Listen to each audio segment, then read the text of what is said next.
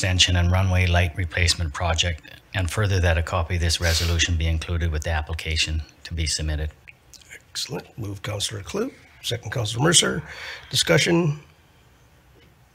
Seeing none, all those in favor? Opposed, motion carried. Next item. Next is a recommendation that 2023 financial plan bylaw number 5272 be given first and second reading, and further that a presentation be received and a public information meeting be held on January 10th, 2023. Thank you. Let's get it on the table. Move Counselor Kloot, second Counselor Read. Mr. Savard. Great, thanks, Your Worship. The community charter requires all municipalities uh, to adopt a balanced financial plan annually. Uh, the city prepares a 10-year plan identifying short and long-term requirements well in advance, uh, which enables council to set priorities and allows for planning and financial strategy to fund capital priorities without debt. The 2023 financial plan process has been challenging in achieving a balanced budget. Uh, continued supply chain disruptions and high inflation in the local and global economies uh, have presented many cost containment obstacles with higher levels of inflation and non-discretionary costs uh, than generally faced. Uh, this is not unique to Chilliwack, and municipalities across the region, province, and country are facing the same issues. The city has a number of budgetary areas that are subject to inflationary and non-discretionary cost pressures. Uh, this applies to material supplies and costs related to general and contracted service delivery, uh, fee-for-service agreements, labor, and standard maintenance and operation of city facilities. Given the increased levels inflationary in, of inflationary non-discretionary provisions, uh, efforts have been made to alleviate the tax, uh, the impact on the tax increases as much as possible, understanding that uh, households and businesses are also feeling the inflationary impacts. In doing so, the financial plan is proposing only those additional provisions uh, deemed essential uh, within the areas of public safety and bylaw enforcement to support the public safety goals of council. To ensure financial obligations are met and public safety goals are supported, the financial plan proposes a tax increase of 4.48% for 2023. This includes public safety and bylaw enforcement resources that have been deemed essential for the provision of a safe community. Three RCMP members, one RCMP support resource, two firefighters, and two bylaw enforcement officers have been incorporated. The plan is otherwise not proposing further service level increases. The RCMP have prioritized three additional members and one support staff position. The Chilliwack detachment is extremely busy detachment and the continued uh, prioritization provides uh, support for policing services. The additional two firefighters uh, have also been proposed to assist with safe and effective fire response with continued prioritization for staffing halls one and four which will also help to fill any vacancy gaps during firefighter absences. Two bylaw enforcement officers have also been prioritized. This is proposed in response to high demand for service from the community to provide for call volumes and patrol response. Financial plan continues with activities that support the climate action plan. This includes energy efficiency upgrades at city facilities, electric fleet and fuel conversion vehicles, installation of electric vehicle charging stations, continued active transportation infrastructure and transit service, plus tree planting and waste diversion programs. Within the 2023 capital plan, an indoor pickleball facility is proposed that would include construction of 10 regulation courts that would be protected from the weather elements and provide for year-round play. This would free up and provide additional availability at the Landing Sports Center for other activities and uses, including tennis. A Vedder Trail Bridge has also been included, which would provide connection of the north and south side trails along the Vedder River. A William Street bri uh, pedestrian bridge project is also incorporated to provide pedestrian connections over Hope River. These projects are both subject to approvals through regulatory agencies. Moving into property taxation stats and comparatives. Property taxation accounts for 72% of the city's revenue sources.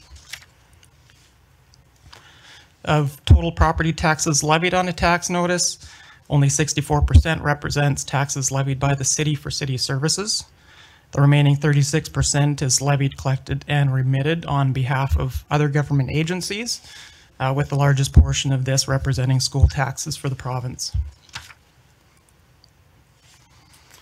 48% of the city's levied property tax, uh, taxation is allocated to protective services, with policing the largest component at 36%, followed by recreation and culture, including libraries, and transportation and operations, including transit. In looking at property tax comparatives among municipalities, uh, we review data provided by the province, uh, which separates all components of taxation plus other service fees uh, and charges, um, which allows for dependable comparisons between local governments. In comparing general taxation on a representative home among lower mainland communities, Chilliwack remains at the lowest levied, providing the greatest affordability for its residents. When adding water, sewer, curbside waste collection service, and regional district levies, uh, Chilliwack is again providing the most affordable fees and levies. And Chilliwack also maintains low business uh, taxation multiple for business classification uh, taxpayers within the community. Moving into community engagement survey results. Uh, the city uh, provided two budgetary survey uh, service survey opportunities throughout the year uh, to receive input and feedback from the community. Uh, the first was a survey insert with the tax notices in the spring, with an online engagement survey in the fall. Uh, it should be noted that the survey responses do not drive or direct the financial planning process, but rather provide council with supplementary input and feedback uh, to information they receive on an ongoing basis as they make careful and thorough decisions in setting budgetary priorities for the city. On the ranking of service importance, protective services ranked high for both police and fire protection. Flood protection also remained of high importance, as was roads and transportation. Community events and bicycle networks received the lowest important rankings. When looking at areas for allocating tax dollars, roads and transportation was the only service where the majority of respondents would like to see a higher allocation. Uh, for the remaining services, majority of responses chose the same allocation. And on the allocation of funding, the average funding allocation closely matched the trend seen with the service importance ranking. And the majority of respondents also answered that they received good value for their property tax dollars. So financial plan schedules will be available on the city's website under chilliwack.com forward slash budget. A public meeting will be scheduled for January 10th at 6:30, and any comments or feedback can be emailed to budget at chilliwack.com or at clerks at chilliwack.com. And this presents the city's 2023 financial plan. Thank you, Mr. Savard. Any discussion? Go ahead, Councilor Mercer. Thank you, Your Worship. Uh, Just a general comment. I want to thank staff. Uh, This was uh, incredibly comprehensive, uh, detailed um, plan that was put together. Um, You know, it was a little bit like swimming upstream, uh, trying to balance all the priorities. I don't think in my short time, this would be my fifth year, that we've ever been faced with um, such heavy cost of living and COVID-related costs. uh, um, that were non-discretionary on our part, and it left very little room for us to play, so to speak, and, and look at our comprehensive municipal plan and look at everything that was wanted uh, in the city. I, I think we collectively knew as we went through this discussion that there would be perceived winners and losers. And um, we tried to do our best to make sure that uh, what we heard, what we saw uh, through the um, um, the surveys that were done, the two that were mentioned in the presentation, um, we tried our best to hit the mark. Uh, and um, hopefully the, the years in the future will be um, a little bit more free, if you will. And uh, the uh, non-discretionary pressures won't be as as hard as they were this year. Thank you. Thank you, Councilor Mercer. Uh, I've got Councilor Shields and then I got Councilor Kloot.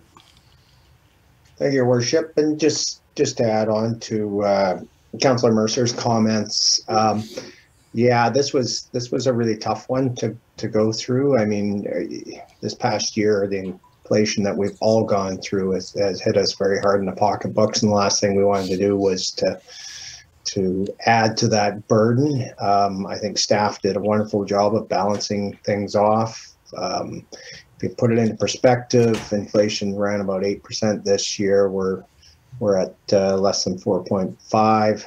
I know that doesn't uh, doesn't sound great to anyone, but um, I think we're we're we did a good job of balancing and and not hitting people too too hard. So uh, thank you to staff, Mr. Savard, uh, uh, particularly for for all his hard work, and and uh, I look forward to comments from the public and and uh, discussions on January 10th.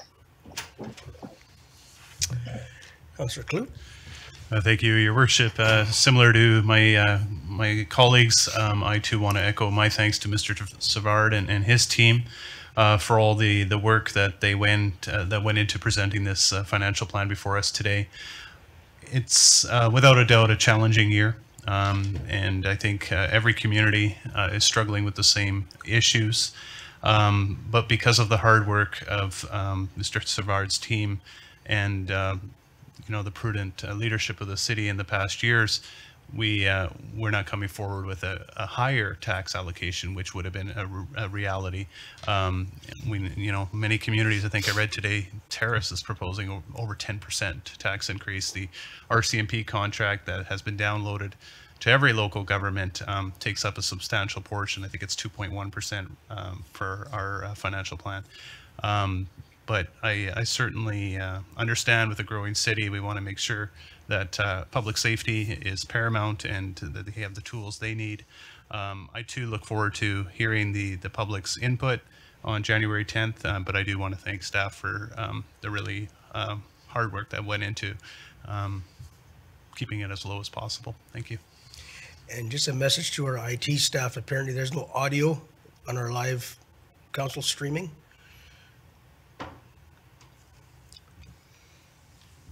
Eh, Yep. We can just give him a second here.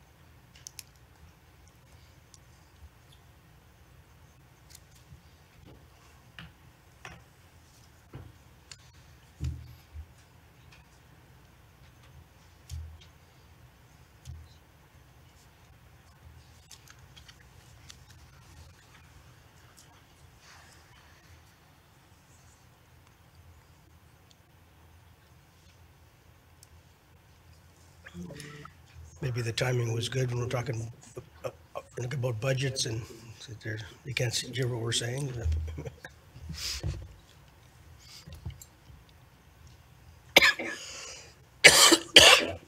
Maybe we could take a five-minute break.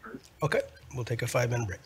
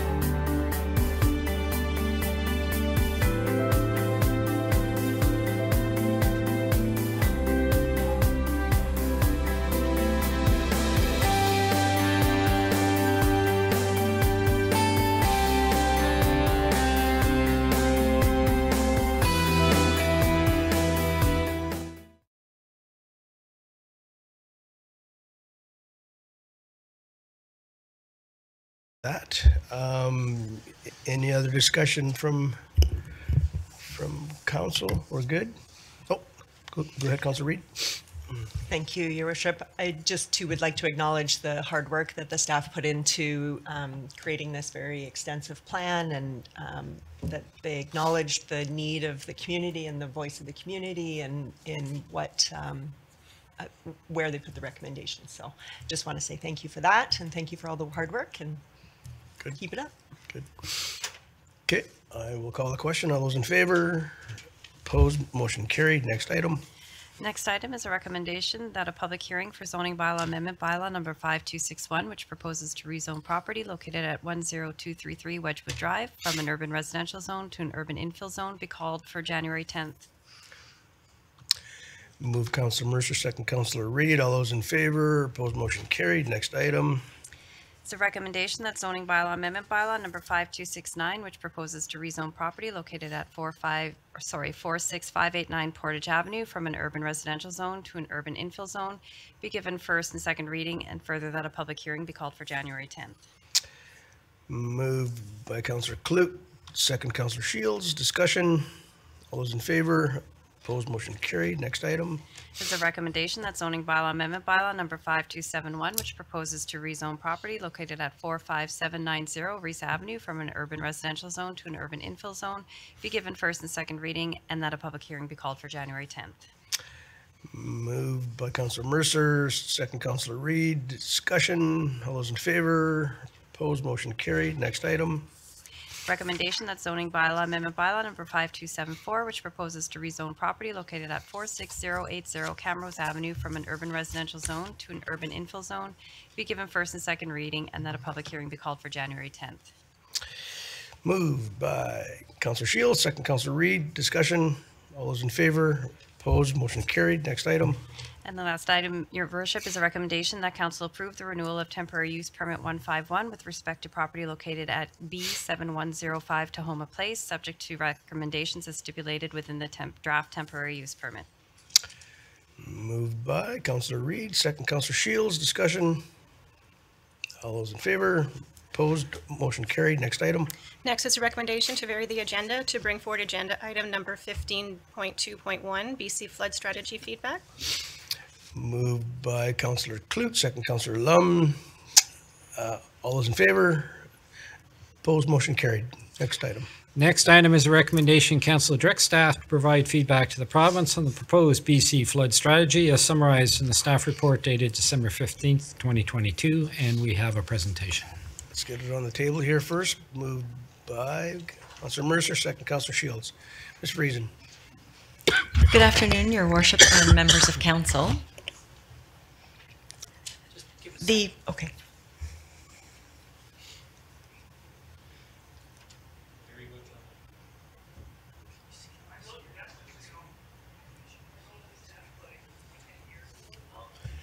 Got some technical difficulties today.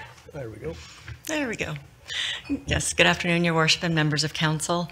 The proposed BC flood strategy includes a series of actions that fall under four program areas. Understanding flood risk, strengthening flood risk governance, enhancing flood preparedness, response, and recovery, and investing for flood resilience. And I'll speak to each of these. The proposed actions for understanding flood risk include floodplain mapping, risk assessments, and strengthening dike regulatory programs. We want to emphasize to the province that it's important to recognize that communities are at different stages in understanding flood risk. Many communities, including Chilliwack, have already carried out extensive studies and investigations, and we are eager to move forward with flood protection uh, mitigation measures as, fun as funding is available.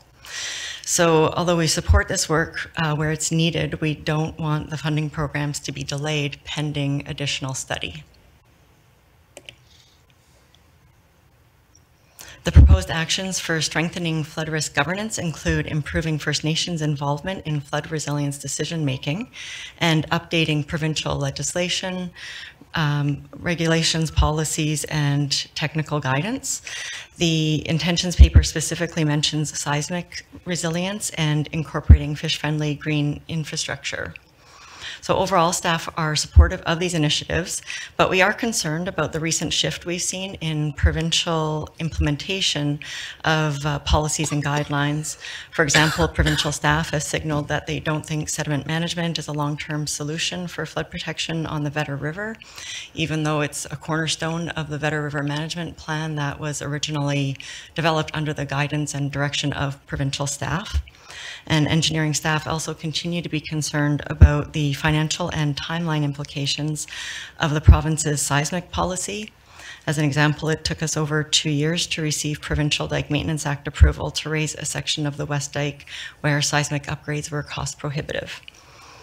For flood protection upgrades, um, sorry, flood protection upgrades are really important, and we need to emphasize the need for feasible solutions that can be funded and implemented in a reasonable time frame. The proposed actions for enhancing flood preparedness, response, and recovery include improving flood forecasting, flood response exercises, and recovery planning, including Build Back Better. And staff are supportive of all of these initiatives. The River Forecast Center has added capacity, but additional improvements are needed because communities rely on the flood forecasts for important decisions about emergency works and evacuation alerts and orders. And I've included one of the forecasts from the 2022 Fraser River freshet, which shows flows possibly reaching uh, one in a hundred year levels. And um, there's acknowledgement that there's a lot of uncertainty in the modeling and uh, weather forecasts. So they you know, typically include a band showing highest possible or anticipated higher bounds of the forecast and lower bounds. Um, but in this case, the actual flow ended up being even lower than the lowest flows so it just poses challenges for municipalities and any improvements that can be made in that forecasting is, is definitely um, warranted. And of course, we also saw the importance of flood preparedness, response, and recovery efforts when the Nooksack and Sumas River systems flooded in November 2021. The proposed actions for investing for flood resilience include enhancing investments in flood avoidance, accommodation, protection, and community-led retreat. Staff is concerned about some of the language in this section of the provincial intentions paper. It states that structural flood protection will be a less desirable approach in the future, except in cases where critical infrastructure, large numbers of people, or vulnerability or vulnerable facilities exist. But this wording is very vague. What do they consider a large number of people? Um, and it also mentions people learning to live with their feet wet. So we are concerned about flood avoidance and accommodation concepts being pursued, for example, for agricultural land without fully understanding the economic, food security, and environmental implications. And we've already had provincial staff ask us to review options of setting a dike back in an, in an agricultural area, as an example. So we want to emphasize that increased funding is critical. It is the biggest limiting factor for Chilliwack and many other communities. And the funding should be flexible enough to support whatever solutions the local government and First Nation communities and their technical experts or consultants determine are the most appropriate based on cost benefit, cultural, and environmental considerations. And just a couple of final general comments. The province would need to significantly increase their staffing levels and technical expertise to successfully implement the strategy. And the strategy needs more details about specific steps to achieve implementation, including a commitment to a timeline and funding for improvements or it risks uh, being a high-level statement of principles without being able to achieve the necessary improvements in flood protection and resilience. Thank you for your report. It all boils down to money. Councilor Mercer. Thank you, Worship, and uh, thank you for the report. Uh, I think your last comment, um, you know, strikes the chord that everybody needs to hear that, you know, it's it's kind of, uh, and I'll paraphrase my words, not yours. It's a, a high level commitment that's doomed to fail because of the time constraints uh, being put on it. Um, you know, it's a little bit disingenuous on the part of the province. I think only in the last couple of weeks have we actually learned the names of anybody who may have received any money from the flood last year. uh, after all these great announcements that were made that uh, money's coming your way will help you get back on your feet better than ever. Uh, and until a regional district meeting last week, I don't think anybody knew anybody that had actually received any. So, and then for the province to um, use as an excuse uh, for the lateness of the uh, the payments for rebuilding to residents of the Fraser Valley, Chilliwack included, um, that it was workload on their part uh, that caused the delays. Uh, again, just speaks volumes um, to to the position that we're in. So. Um, you know, we'll keep moving straight ahead, but uh, I think rest assured the city will um, will make public our challenges uh, as we move forward. And if these deadlines are uh, unobtainable by a city that moves in lightning speed uh, in comparison to our provincial government partners, uh, uh, I'm I'm sure our public would be would want to hear that. So um, stay tuned, but fingers crossed. Thank you. Excuse me, Councilor Lum.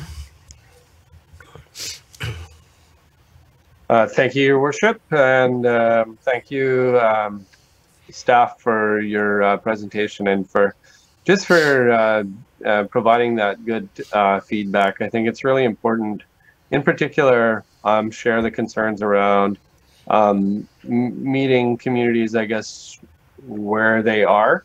And I think, you know, in Chilliwack, we've done a lot of work on um, flood protection um, planning and identifying um, what structural flood protection and what non-structural flood protection needs to be put in place to best protect the community and to protect the environment. Um, and I think um, one of the challenges I have with the BC flood strategy is that it it um, it further delays us getting to action. So I hope that the province takes um, our concerns very seriously. Um, Chilliwack is um, considered not just uh, in the Fraser Valley, but across the province as being uh, one of the model communities in terms of looking at flood protection and all different aspects. Um, and I wouldn't want to be punished for being, um, you know, one of the leaders. Really, um, this as you as you've identified, um, the main challenge really exists with the province and the federal government not coming to the table and a stable, predictable um, manner when it comes to um, funding flood um, infrastructure. And, you know, along with the fact that now you've got the province kind of shifting the ground underneath our feet a little bit in terms of how many different players, additional players they want to put in the game, uh, changing the goalposts when it comes to um, seismic concerns changing the goalpost again, it sounds, on um, managed retreat, which, uh, again, some pretty loaded terms there. Um, when um, we've got, again, you look at Chilliwack and the large percentage of, of where our population lives is on the floodplain. Um, I would put forward that there's no real realistic way right now to manage retreat off the floodplain in Chilliwack without completely decimating uh, the population. And I'm not really sure where you would retreat to. Um, maybe up, uh, uh, maybe up beside you, uh, Councillor Mercer, but uh, that's the, I, I believe staff have done a really good job summing up some of the concerns. I know um, it's, it sounds like they've been um, uh, very careful not to be too critical of the flood strategy because all in all, it's a good thing to have people talking about it. But um, again, we don't talk is cheap and it comes free with a haircut. So we need to move to action. Councillor Kloot. Thank you, Your Worship. Uh, also to, through to staff, thank you uh, for bringing forward this report and the concerns that uh, have been highlighted and uh, I believe that has to be in this week, right? Uh, the 22nd, I think I read in their report. So it's coming I, I believe it's actually um, early January, but it's before the next council meeting. Perfect. Well, um, certainly I, I echo uh, some of the comments of, of my colleagues. I believe um, there's there's so many studies, but we really do need that action. And uh, and I know Chilliwack, through the good work of our staff, um, have excelled at identifying uh, issues. So one of the points on on the uh, on the presentation was, um, I think it said should um, community initiatives should be considered. I think it said or needs to be considered, and I, I can't uh, agree more. Um, definitely uh, we've uh, been on top of a lot of the issues, and uh, we just need to make sure that we get our fair share, and that the government, the feds, and the province, um, you know, recognize. Like we think of the, the the flood of November 2021, and we hear we've heard of people who are not allowed to live in their homes because it's deemed unsafe. They are paying rent to live somewhere else or paying mortgage for their damaged homes. So it, it sometimes it seems like they're working in independent silos. So I, I really uh, appreciate the work that's gone into this and bringing that forward to the province. Thank you. Councillor Shields? Thank you, Worship. Um, yeah, I think uh, staff had some good input there, and I think the big thing is, and, and it's been brought up, is is not to paint every community with the same brush. There's there's certainly communities that are far behind us in what they've done with flood control, um, and I think it is it is, you know, naive of the government if they think that that that they're just going to come across and and and in one foul swoop and and fix everything. So good feedback from staff. Um, we certainly don't want Chilliwack to go through what a uh, what a Merritt or a Princeton has went through last fall. Um, and and I think time is of the essence because as we know, this probably last fall was not an exception. It's it's probably going to happen again and again, and and there's not a community in BC that wants to go through what those other communities went through. So uh, I think all communities got to push back hard, and I'm glad staff did on this one.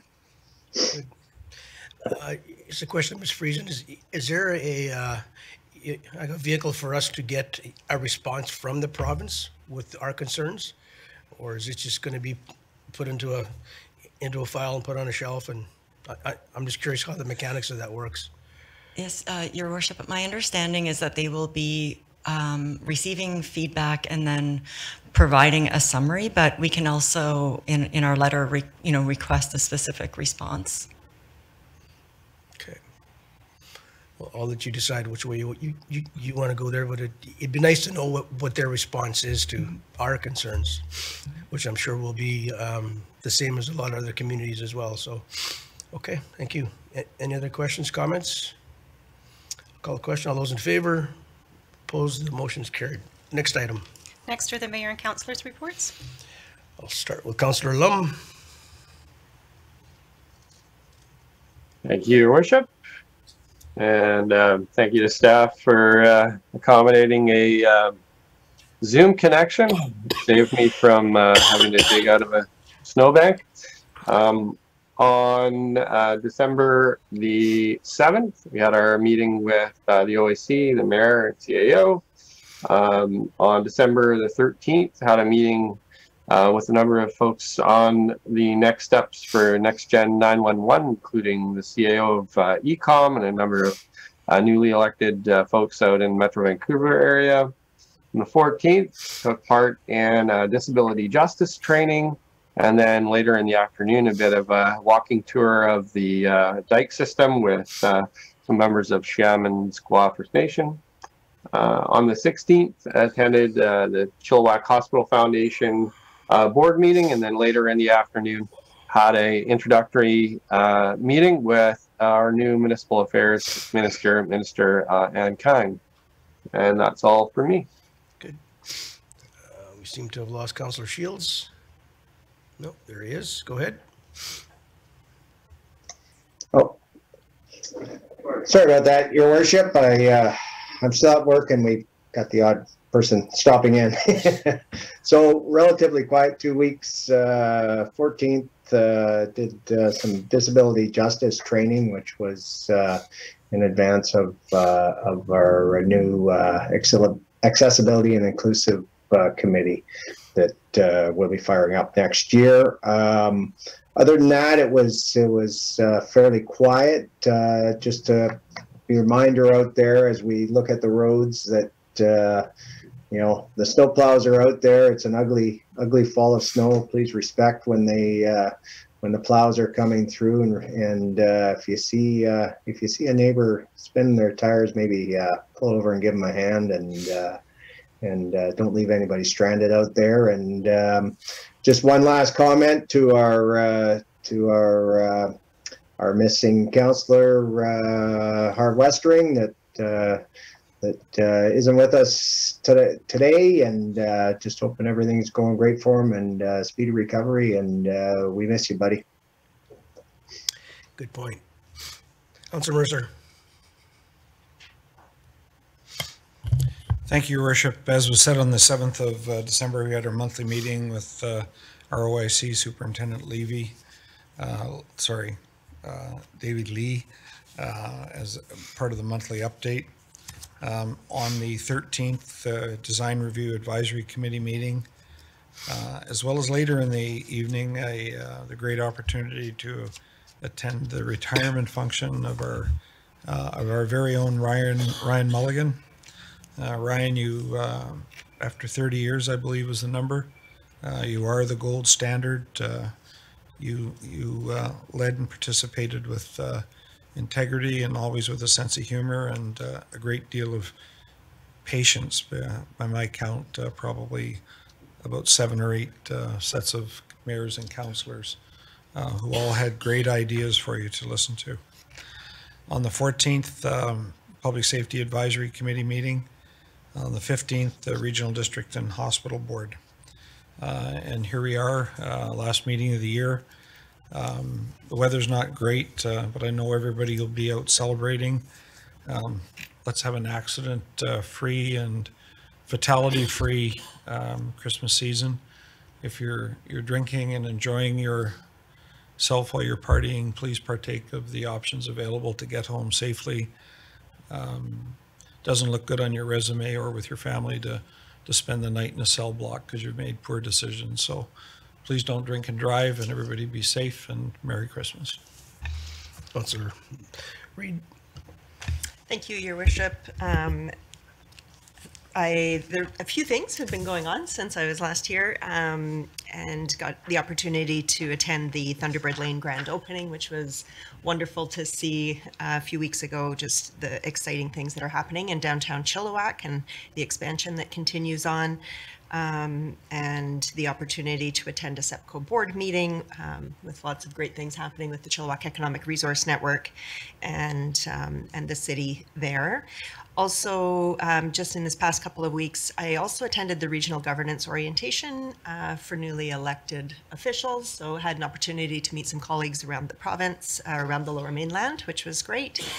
And um, had my first Fraser Valley Regional Library meeting. Um, the opportunity to also attend Ryan Mulligan's uh, retirement party and and really um, you know, see the amazing things that he's contributed to our community over the past years that I've, uh, over the past many years that I've been able to experience. So thankful for that. Um, and still uh, working with Chilliwack Healthier Community and, and doing some transportation innovations to hopefully bring some new ideas to, uh, through innovation to the city. Um, and on December 18th, finally, the Streams Multicultural Holiday Dinner, which I got to attend with you, um, Mayor. And it was just lovely to see the dancing and the celebration um, in, in such a beautiful way. So thank you for that opportunity. Councilor Kloot. Thank you, Worship. On, um, sorry, the 13th of December, we had the uh, final design review committee meeting with the uh, the makeup of the committee as it was, and uh, we were able to thank those who participated in this last term. Uh, looking forward to uh, some new faces uh, come January. Also attended the retirement of Ryan Mulligan. Um, a lot of good work that you've done in our, our city, and, and thanks for putting up with the, the different councils and mayors and always trying to balance uh, the needs. Um, we'll miss you around here. I know you still have some time here yet, but um, yeah, it was uh, was good to work with you all these years. Um, the following day, on the 14th, Agricultural and Rural Advisory, same thing. We uh, met as a group for the last time. There will also be a significant turnaround as uh, several um, individuals who volunteered their time to make this uh, city stronger have uh, decided to um, take uh, or decided not to run put their names forward um, for the committee. So there will be some new faces there as well. The following day, uh, the 15th, uh, we had the uh, Fraser Valley Regional District and Hospital District Board meetings. The 16th, I attended the uh, seniors Christmas luncheon, luncheon at the Evergreen Hall. Always a good time. Um, and just a word of thanks to all the operations crew that are dealing with the snow. It's always a reminder once in a while. We get a reminder we're still part of Canada and it could snow here. And um, it's cold. So I hope everybody stays warm and uh, also take this time to wish our staff, uh, my council colleagues, um, and all the citizens of our city a wonderful and Merry Christmas. And hopefully you enjoy some downtime uh, with those uh, loved ones around you. And uh, maybe we'll have a white Christmas. It looks like we might. So it's all good. That's it. Thanks. Thank you. And I'm going to be brief. Um, on the 7th of December, I attended a bar watch meeting. On the 10th, I was down at the um, um, Vedder River for the Santa Shuffle, which is a fundraising event for the Salvation Army. There must have been a couple hundred people out there in the pouring rain, but they were running down. It was it, it was a great event. On the 14th, I attended CEPCO. On the 15th, um, FVRD and, uh, and the Hospital Foundation Board meeting as well. And I did attend a bunch of events that have been spoken to already this afternoon. And I too want to wish everybody uh, a Merry Christmas and a Happy New Year and just stay safe out there, everybody. Thank you. Next item, please, Madam Clerk. Next is a motion to adjourn to a closed session pursuant to section 91 of, uh, sorry, subsection 1E of the Community Charter. Moved by Council Mercer, second Council Read. All those in favor, opposed, we are adjourned.